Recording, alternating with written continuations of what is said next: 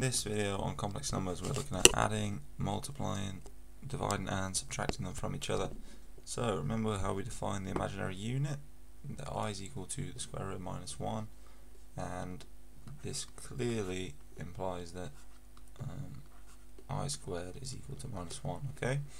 So that's something to remember, you saw when multiplying and dividing these numbers. First we'll look at addition. If we got a complex number y equal to a plus bi and a complex number z equal to c plus di then y plus z is equal to a plus c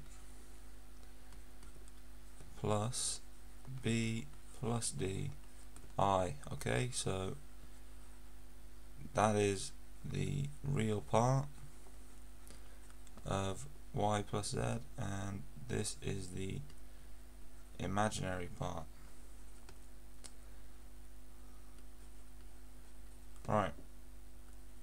And what can we learn here? Well, when adding, we just add the real parts together and that gives us the real part of our new complex numbers and we add the imaginary parts to each other and that gives us the imaginary part of our new complex number um, if we put in the minus here then the plus or minus this becomes a plus or minus c plus b plus or minus d which makes sense. If we were subtracting z it would get a minus c and b minus d. Okay hopefully that makes sense to you all.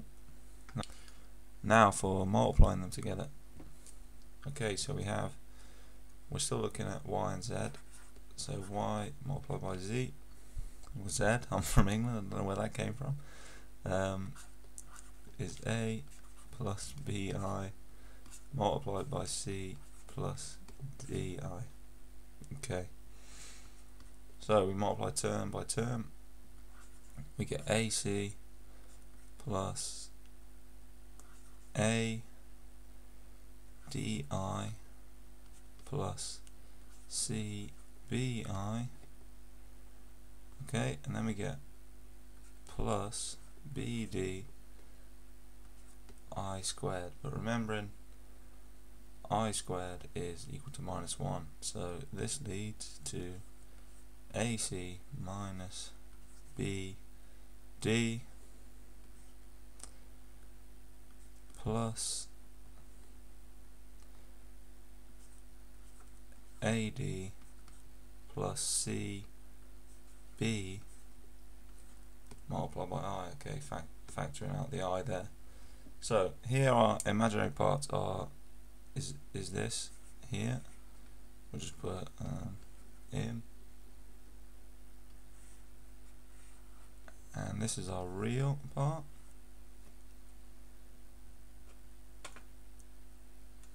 Um, the imaginary parts found by sort of the cross product, so the real times by the the imaginary bit, and the real real bit you get from almost well, I would say the, not the squares, but the the real times the real and the imaginary times the imaginary. Okay, because of this cancellation effect.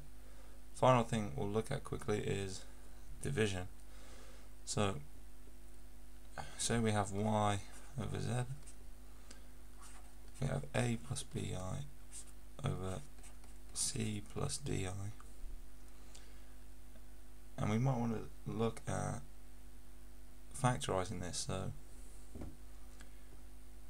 one way we are uh, not factorizing this rationalizing this and that's getting rid of this imaginary part here. So we might multiply by c minus di over c minus di and on the top. Um, we can use what we know about multiplication but for now I'm just going to write it like this because it doesn't really matter what we get on the top. And then on the bottom we get this difference of two squares okay?